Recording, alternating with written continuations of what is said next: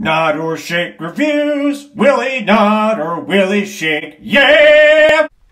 Hi, Johnny here with Jim Bobby. Welcome to another thing of Nod or Shake reviews. Hey, blockbuster season has officially hit us, is upon us. Although I feel like the blockbuster feeling has kind of not been what it's been like in past years. Because I feel I was like, like, Blockbuster's no longer around.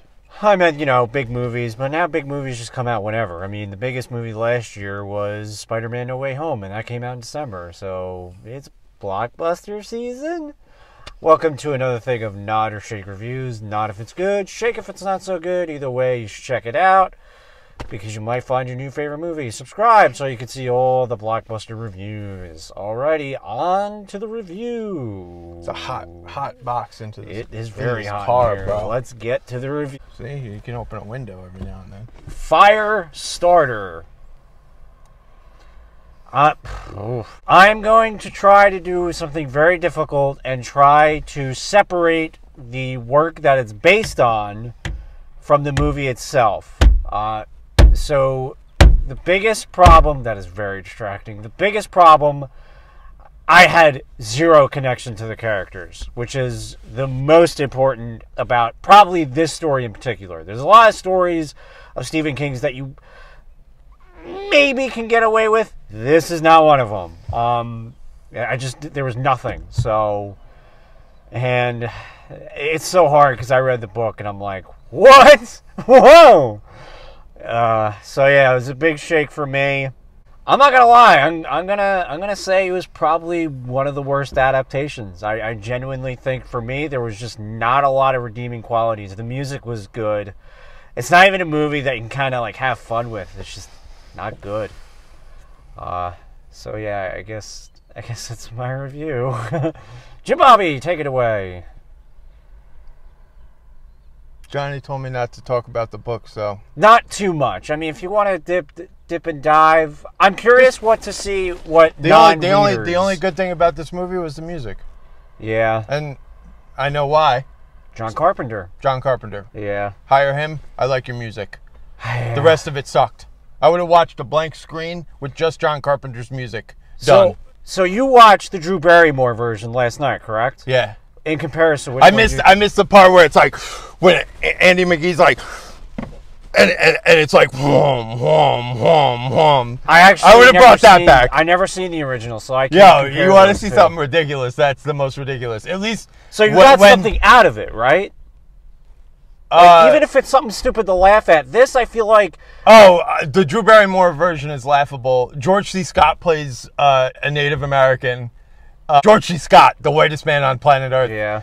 So, I mean, this tried to bring it back to that, but totally none of the characters were likable. The only thing I'll say is uh, the McGee's uh, the way they like acknowledged him starting to use his powers was pretty cool.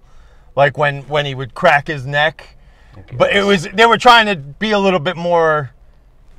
I don't know. Uh, the, the original movie it was ridiculous, like this loud hum. You gotta watch it. Just Yeah, watch yeah, it for yeah. that. Uh, Um, both are on Peacock if you want to check that out. but yeah, the, the movie sucked in comparison to the book.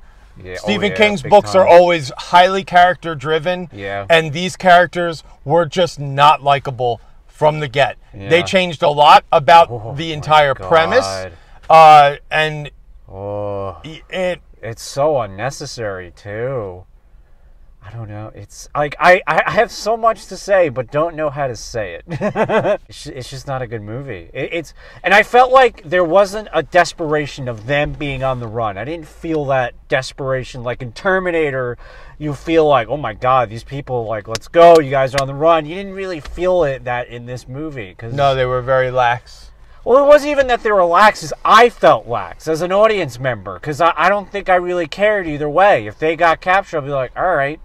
And I feel bad. And, and the whole thing, the whole reason for this even starting was that she didn't have a handle on the power, and the mother wanted to train her, Yeah. and the father was like, "No, she's untrainable, not happening." Meanwhile, she did it in the woods, five seconds. Like she was like, "I got That's a handle true. of this." They- it was so stupid, so ridiculous. montage. Yeah, it was a tra- yeah, it was a training montage. no, there wasn't a training montage. It was like, I did it.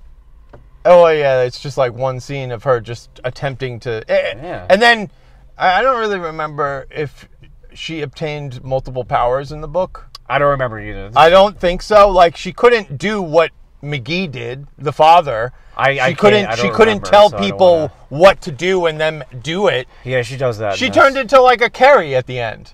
Yes, A- very a- much and so. that that was that that's what they did and the whole point of the book is like she has this power fire is an uncontrollable thing You it will it, it will get out of hand no one can control it and that's kind that of the that. point Yeah. and that's why at the end uh andy right that's his the father's name Yeah. uh andy says burn it down burn it down it's the Yeah. biggest line of the of the novel Yeah. and like when you when you read that i was like Goosebumps. yes Goosebumps. yes Yeah. in this it was like just burn it down Yeah. and then go about your life no burn it down burn your life down take it to the to the foundation Yeah. Yeah, very disappointing. Very disappointing. Blockbuster season. Alrighty, uh, thanks for cringing. Thanks for grading.